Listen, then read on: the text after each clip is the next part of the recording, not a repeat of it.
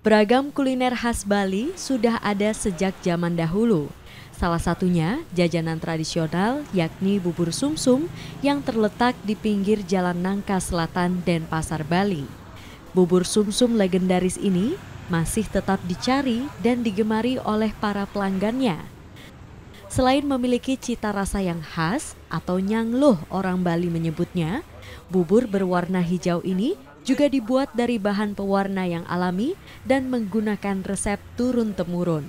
Awalnya, bubur sumsum legend ini sudah ada sejak 45 tahun yang lalu. Bubur ini dijual dengan berkeliling jalan yang dijunjung oleh sang mertua. Karena sudah uzur, kini Lu Suryawati mewariskannya dan melanjutkannya untuk berjualan di pinggir trotoar dari tahun 2015 dan hingga kini sudah bisa menyewa sebuah warung kecil. Rata-rata para pembeli mengaku sudah menjadi langganan sejak kecil dan sudah terbiasa menyantap bubur sumsum -sum legend di tempat ini.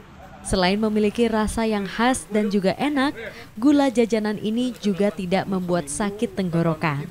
Bukan bubur aja yang dijual, sekarang sudah mulai bikin kue jajanan punya Bali sangrai, lukis, uh, laklak, dan dan tergolong legend berarti jajabannya. Legend, saya masih SD udah jualan ibunya nih. Sudah langganan dari dahulu kala, waktu masih neneknya masih jualan di pinggir jalan sampai punya tempat Astungkara sekarang seperti Niki. Rasanya itu luar biasa enak. Istilah Balinya tuh nyangluh.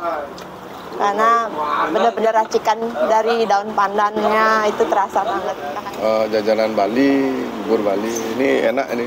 Jadi ada bubur sumsumnya, ada injinnya, ada kolaknya juga. Jadi lengkap ya. Tidak hanya bubur sumsum, Niluh Suryawati juga menjual aneka jajanan khas Bali lainnya seperti bubur injin atau bubur ketan hitam, kolak, daluman, jajan laklak, pisang rai, lupis, es campur, dan juga es kelapa.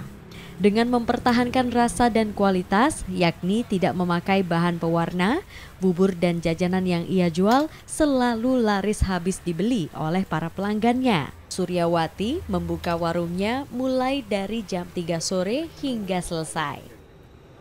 Kalau jajan Bali memang saya sendiri yang racik sendiri dari awal. Nah, kalau ini bubur semuanya dari warisan mertua. Kalau pewarnanya saya yang bubur sumsum -sum yang hijau ini pakai daun suji.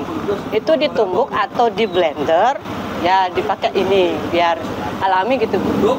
Yang menjadi menu favorit di sini yang Menu favoritnya adalah bubur sumsumnya ini udah ada. Dari dulu dari mertua udah 45 tahun jualan bubur sumsumnya ini. Dalam sehari, Luh Suryawati bisa menghabiskan 6 kg bahan untuk berjualan aneka bubur dan juga jajanan. Satu mangkok bubur campur ia jual seharga Rp7.000. Sedangkan untuk aneka jajanan Bali dijual mulai dari Rp5.000. Pembeli yang datang tidak hanya dari kalangan warga sekitar kota Denpasar, namun juga ada dari luar kota Denpasar seperti Batu Bulan, Jimbaran, dan juga Badung. Penasaran dengan bubur dan aneka jajanan yang dijual? Langsung saja ke warung Bu Arsya yang beralamat di Jalan Nangka Selatan, tepatnya 50 meter utara Banjartain Siat dan Pasar. Warung ini mulai buka dari jam 3 sore hingga jajanan habis. Komang Suarbawe, Kompas TV, dan Pasar Bali.